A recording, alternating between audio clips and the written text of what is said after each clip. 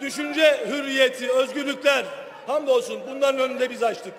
Sizin zamanınızda ayrımcılık vardı.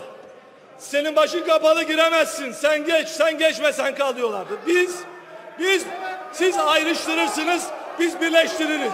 Siz inkar edersiniz, biz ihya ederiz. Siz tahrip edersiniz, biz inşa ederiz. Biz inşa ederiz. Ama çağrımız şu. Gelin vazgeçin. Bu offline zihniyetten vazgeçin. Gelin online olun, çevrim içi olun. Birlikte inşa edelim. Bizim hiçbir hiçbir derdimiz yok. Bizim için Batman neyse İzmir o. İzmir neyse Diyarbakır o. Diyarbakır neyse Van o. İstanbul neyse Hakkari o.